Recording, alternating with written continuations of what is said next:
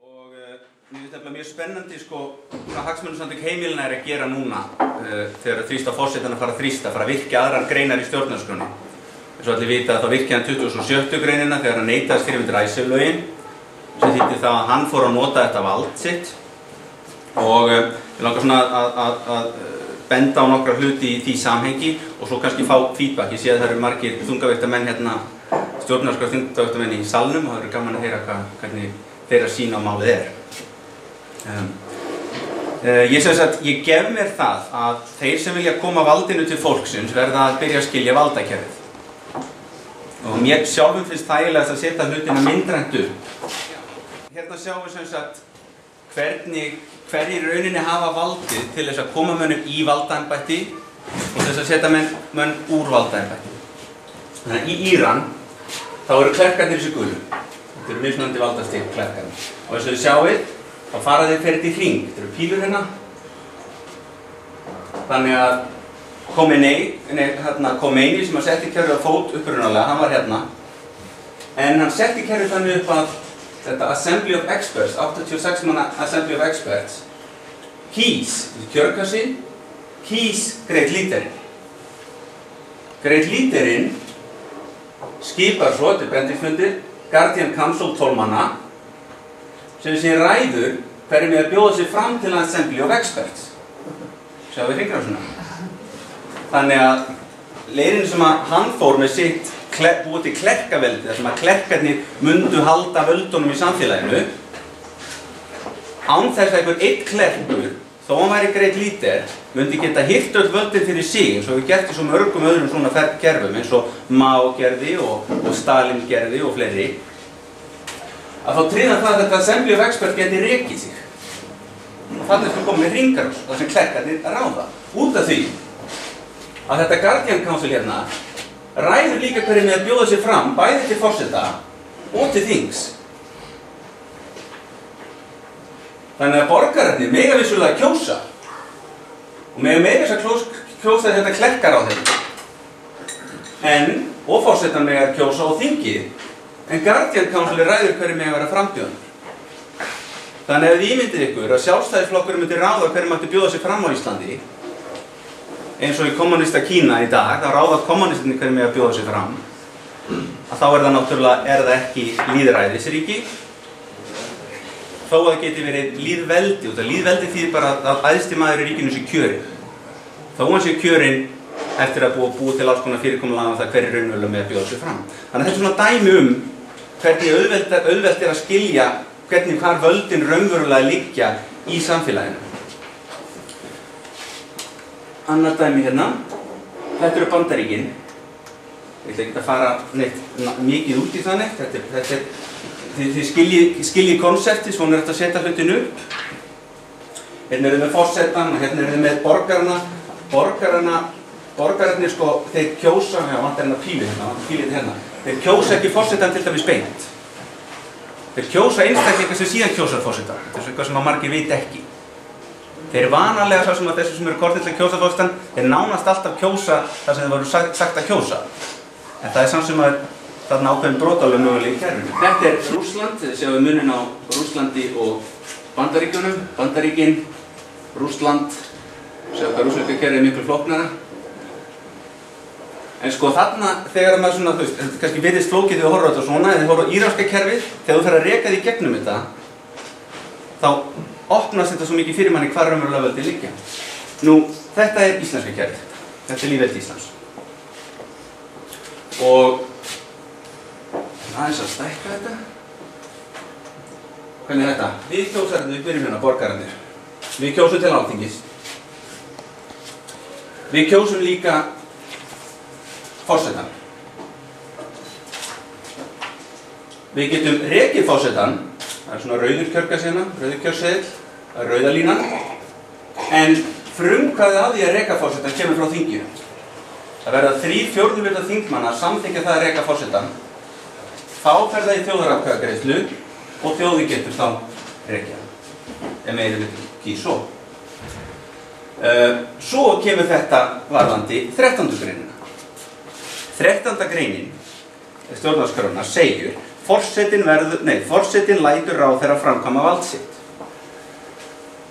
Þetta, þetta er, er eitthvað sem að vanalega hefur verið tólkað þannig að forsetin, hann hefur í raunin ekki vald til þess að neita skrifundu lagafrumar, vald til þess að rjúa þing og búa til kostninga, eins og greinar í, stjórn, í stjórnarskanni hverða áum að forsetin hafi þetta völd. Það er raunin út að hann lætur ráð þeirra framkama vald sitt og hefur alltaf verið tólkað þannig Hann hefur ekki sem völd ráðferðarnir er að gera. En fyrst að hann notaði 2017 greinina sem segir að nú sinjar fórseti lagafröður og staðfestingar og fær það þó engu að síðu lagagildi en leggja skall svo fljótt sem auðvið er uh, undir atkvæði allra kostningabæra manna. Þannig að hann virkaði þetta sjálfur. Það var alveg ljóst að ríkistjórnin og ráðherrarnir þeir vildu fá æsumálið í gegn. En fórsetin ákvað samt að sinja þetta staðfestingar. Og þá er það spurning, hvers vegna gerðu þið ekki? Hvers vegna ger, gerðu þið ekki neitt í þessu? Jú, það var út af því að það voru, hvað voru margir sem voru búin að skrifa undir? Það voru 56.000 manns sem er 25% kjósenda sem voru búin að skrifa undir að það vildi fá þjóðar og, og, og, og hvetja fósetta. Þannig að þetta er svolítið, þetta er powerplay sem er í gangi. Með að fósettin hefur svo mikið hluta þjóðurinn á bakvið sig, undirskrifti som stór hluta þjóðurinnar, þá getur fósettin farið að virka alls konar greinar í stjórnarskap af því að þingið þú eru ekkert að fara á móti það eru svona vinsal mál og þá komum við að það sem að Hagsmunarsamtök heimilina er, er, er að gera að þau eru að þrýsta fósettan að fara að virka 2050 greinina. Og hún segir fósetti lífveldisins getur látið, getur látið leggja fyrir alþingi frumvörg til laga og annara samþýkta og Hagsmunarsamtök heimilana eins og því skrifið eða flest undir þetta hérna undirskriftasöfnuna um það að í nafni almannahagsmuna krefist við undirrituð almennar og réttlátar leiðréttingar á stökkbreytum lánum heimilana og afnámsverðtryggingar hafi stjórnvöld ekki orðið þessari kröfu fyrir 1. janúar 2012 jafngildir undirskrift með kröfu um þjóðaratkvæðagreyslu um kröfugerðina og ekki gerist og ekki fyrir til þjóðaratkvæðagreyslu nú, nú getum við beðið eftir nýju stjórnarskráni í nýju stjórnarskránu þá þarf ekki nema 10% kjósenda til þess að nákvæmlega þá verður alþingi að leggja svona kröfu í, í þjóðratkvæðagreyslu. En hagsmjörnusandökin hafa frábæran á þau að herðu, getum við ekki farið að fá fórsetan ef við erum komið nóg mikið hluta þjóðarinnar bakvið, bakvið svona tilhugum, getum við þó ekki fengið fórsetans að virka þessu 2050 og leggja sjálfur fram lagafröðumarka. Og hvað gerist þá? Þá er þetta orðið svolítið spennandi, spennandi tíma sem við lifum á.